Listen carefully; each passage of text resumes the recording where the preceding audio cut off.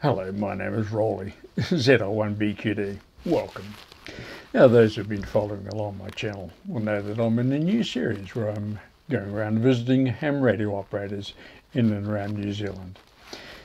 In this episode, I visit one of my friends who lives quite close to me, and he's uh, got a new project underway. I'm very interested in this new project myself, and I'm sure you will be as well. So, Come on, pull up a chair. Grab a cup of coffee. Let's go and see what he's up to, shall we?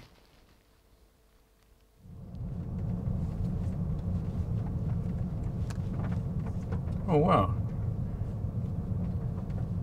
There's an amateur radio operator down there. That looks like a, uh, let's have a look at it.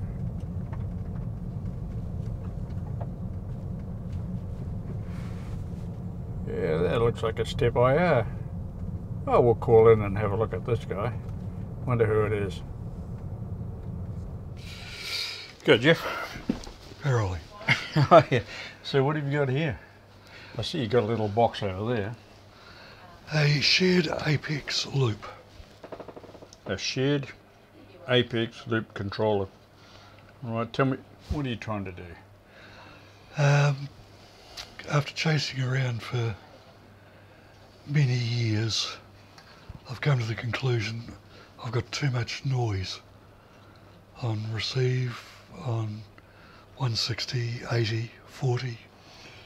Yeah, you're a little bit like me, eh? a little bit of a built up sort of environment and you got TV noise. Yeah. Yeah. Plasma TVs and that sort of stuff. Nick moans when he's got it 800 metres away. Yeah, yeah. Ours is Nick, sort of 80 metres. Nick, our mate, uh, Z01 Italy United, you've seen a video on that uh, previous. Yeah. So, the idea so tell me about this. What, what, are you doing here then? Well, the idea behind this uh, um, is to have four separate loops, um, like delta loops, yeah. with pickoffs in the cardinal directions and be able to switch between the loops to find the lowest noise. Being a loop, it's inherently low noise. And this allows you to effectively tune out noise. Okay, so I see on this controller you can go in different directions. Yep. So you choose either whichever loop you want. I guess that's in a unidirectional way. And then looks like you got a bidirectional way. You can go around the loop in bidirection. What, what's this flip uh, business? Uh, um, it will allow you to flip uh, from opposite loops. Oh, I see. And it will jump backwards and forwards between them, so you can find whether it is a null on your noise or peak or yeah, because primarily this is this is not really a receive antenna, so it's it, it's uh, trying to get rid of noise. Is that it's right? It's a low level receive. Right. But if you can reduce the noise or reduce the signal to noise problem, you get more signal in the end. It doesn't matter if it's S9 or S1. Right, right, right. As long as it's the noise is a lot lower than the signal. Yeah, yeah, yeah. That, and that's the secret, isn't it? Eh? It's that signal to noise, not necessarily how much signal you've got. And we've, yeah, I've discussed that with uh, with one of my mates up in the UK, uh, guy by the name of Callum. Uh, he, yep. has, he has the DX Commander type stuff, and we've had a bit of a discussion on that one before.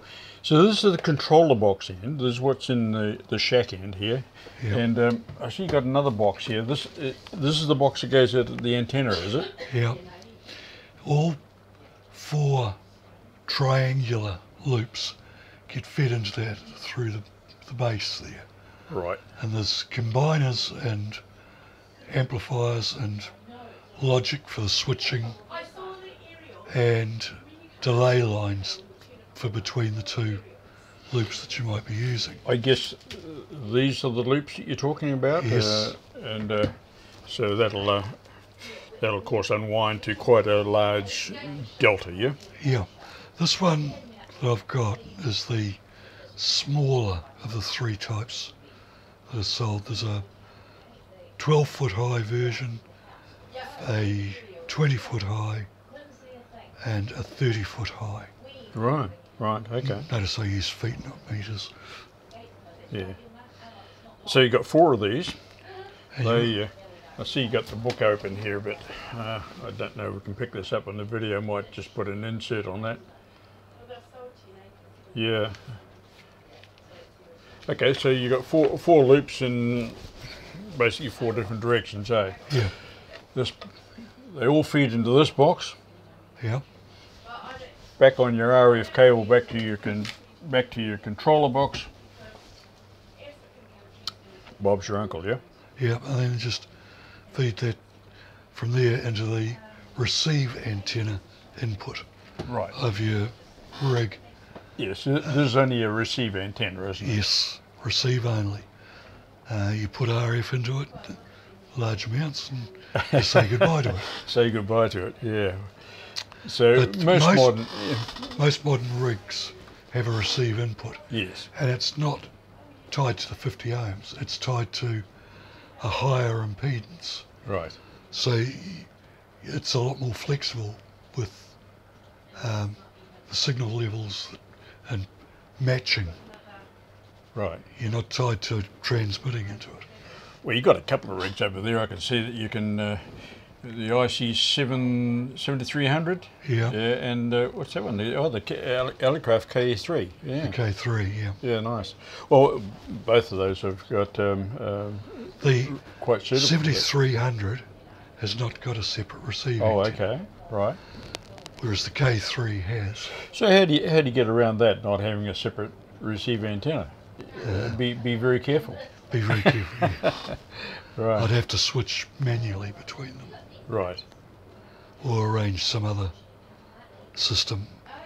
Now, and all this is in aid of uh, basically, um, you've gone over the dark side a bit, haven't you? And you're trying to get, trying to do some 160 meter stuff, yeah? Yeah, 160 metres in a small urban section. Yeah. Uh, a little bit of incompatibility there, isn't there? But mind you, you've done pretty well on 80 meters.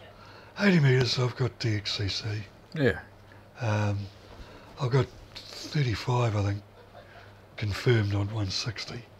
35, that's a third of the way there, and that's a lot better than, uh, than, than many do out of an urban lot, that's for sure. Yeah, And uh, just using a um, inverted L at the moment Right, for transmit. And receive. Oh, and receive. Okay. Well, hopefully, then this rece- uh, this setup there will um, help you on the receive side because uh, uh, we've often said um, in, in some of the other interviews I've done and so on, like any fool can transmit. You just, uh, you know, if you're not getting there, pour more coal on the fire and. Uh, Perhaps you can get there, but the secret, real secret in DXing, particularly low band stuff, is able to receive. Yeah, that, that's the thing that you've got to conquer. Yeah. Oh well, looks like we're there. Hey, I'm I'm going to be interested in uh, seeing how how this build goes, and uh, if you don't mind, I, you know, I'll come out with the camera again sometime, and uh, we'll continue and have a look and see how you go with the build on it. Yeah. Okay. Yeah. Well, I hope you enjoyed uh, meeting with my friend uh, Jeff ZL1BIV. Now, this is going to be an interesting project to follow along, isn't it? I'll be keen to see how it goes, and I'm sure you will too. So, if you're interested in uh, following along this project and indeed following along in my series of visiting ham radio operators around New Zealand, then uh, subscribe by uh, pressing the button below here ring the little bell and then uh, you'll be first to know when the next video is being released. So the next video will be part two of uh, our, our project and uh, we'll see you then.